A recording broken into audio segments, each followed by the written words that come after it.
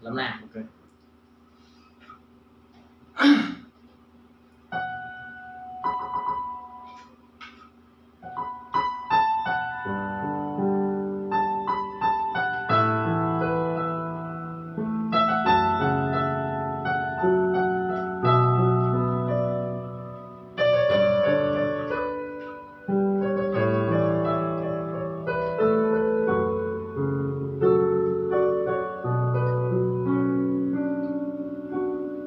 Có thể chịu được nỗi khổ.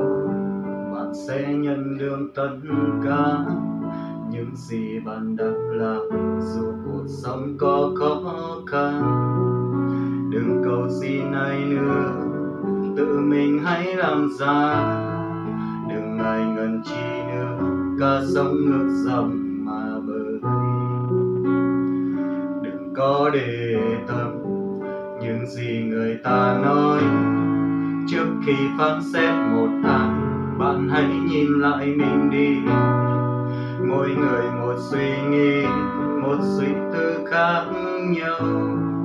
Đừng nên nói lời cay đắng, rồi lại làm mất lòng nhau.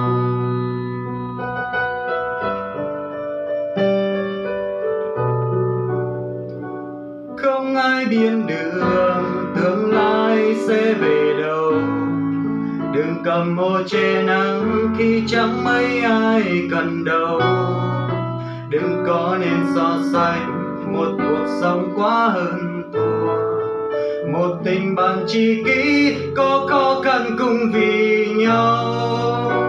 Chỉ cần vài ba ly, rồi mọi chuyện cũng sẽ qua. Ngồi nhậu cùng nhâm nhi, ta vơi đi bao tháng năm dài lối sống cuộc đời đừng để hận thù suốt trăm năm, cay đắng ngọt bùi, chỉ cần bước sống vì nhau.